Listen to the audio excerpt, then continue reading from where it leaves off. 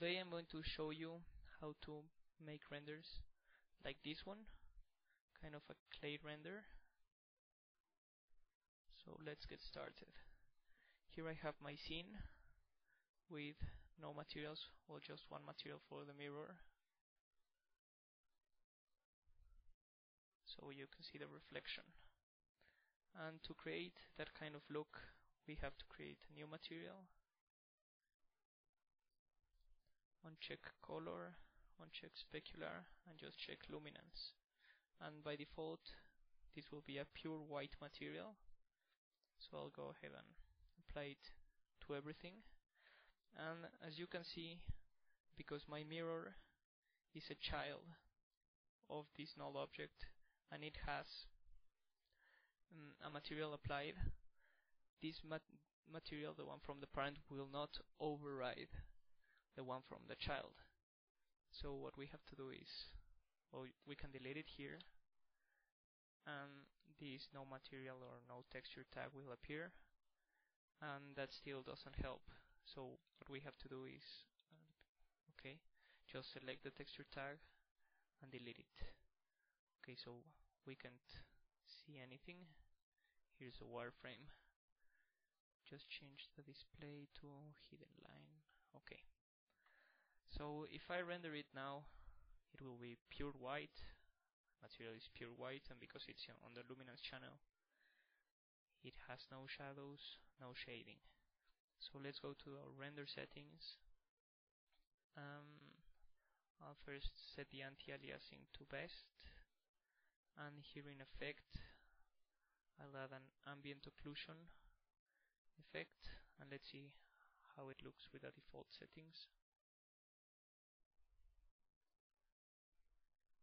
Okay, so as you can see now, we have some geometry, but it doesn't look quite like the render we're targeting. Okay. Just to speed things up, I will lower the accuracy to about 40%. And what I will do is change the color to a light gray, nearly white. Okay.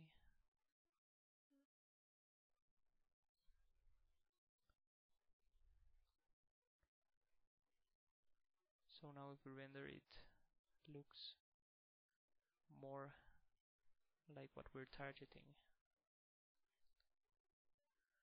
Okay, so it's really pretty easy. We could also just have a global illumination effect. Say we have a light, we could include that light in the render. Let me just look for an image. Mm, okay, Okay, so in, in this image we have the same look, everything is white, but we can see how the sun affects. Everything is just not plain white so we can still add global illumination. I'll change this to low just to speed things up and we could have an, a sun object lights or whatever so we can mm, have a more accurate depiction of the lighting. And that's really it. We could experiment a bit more, maybe try to emulate clay. There are some nice renders with clay, so we can change the color to, let's say, an orange one, dark orange, and go to the ambient occlusion, and we can change the color here, so maybe a dark, dark brown. Let's see how it looks. Okay, so it's not the best thing for this kind of scene, but maybe if you're rendering a car, it could look like clay. And that's really just simple material with luminance channel, 100% brightness, and add the ambient occlusion property, set the color, and you're off.